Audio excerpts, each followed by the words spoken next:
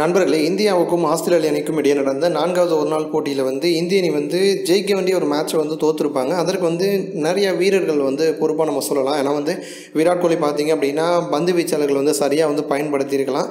அதேமாரி வந்து நிறையா ஃபீல்டிங் மிஸ்டேக் பண்ணாங்க. நிறையா பார்த்தீங்கன்னா கேட்சை மிஸ் பண்ணியிருப்பாங்க. அதே மாதிரி வந்து ரிஷப் பண்ட் பார்த்தீங்கன்னா ஸ்டம்பிங்கை வந்து மிஸ் பண்ணியிருப்பாரு. அதுவும் வந்து ஈஸியான ஒரு ஸ்டம்பிங் ரிஷப் பண்ட் வந்து மிஸ் பண்ண பிறகு வந்து நாலாவது ஒரு நாள் போட்டியில் இந்தியாவுடைய தோல்விக்கு வந்து ரிஷப் பண்ட் தான் முக்கியமான காரணம் அப்படிங்கிற மாதிரி விமர்சனங்கள்லாம் உருவாச்சு.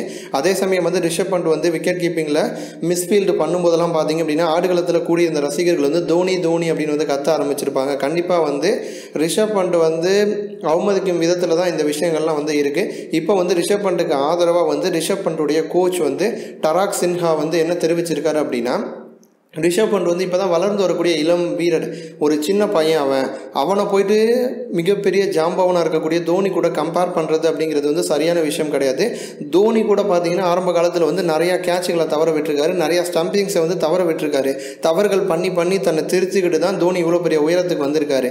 அதே மாதிரி ரிஷப் பண்டுக்கும் நீங்கள் வந்து கொஞ்சம் டைம் கொடுக்கணும். டைம் கொடுத்தீங்க அப்படின்னா தன்னுடைய சொந்த காலில் தன்னுடைய திறமையில ரிஷப் பண்ட் வந்து நிற்க ஆரம்பிச்சிருவாரு. ஸோ அந்த டைம் எதிர்பார்த்து தான் ரிஷப் பண்ட் வந்து காத்திருக்காரு. ஸோ அதற்கான டைம் இல்லாமல் மிகப்பெரிய ஜாம்பவன் கூட ரிஷப் பண்ட்டை வந்து கம்பேர் பண்ணி யாரும் பேச வேணாம். அதனால வந்து ரிஷப் பண்ட் வந்து கூடிய விரைவில் தன்னுடைய தவறுகளை வந்து திருத்திக்குவார் அப்படின்னு சிம்ஹா வந்து தெரிவிச்சிருக்காரு. இதற்கு வந்து ரிஷப் பண்டுடைய ரசிகர்களும் வந்து ஆதரவு தெரிவிச்சிருக்காங்க.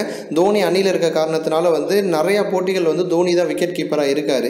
ஒரு சில போட்டிகளில் மட்டும்தான் ரிஷப் பண்டுக்கு வாய்ப்பு கிடைக்கிது. அது ஒரு நாளாக இருந்தாலும் சரி டி டுவெண்ட்டியாக இருந்தாலும் சரி.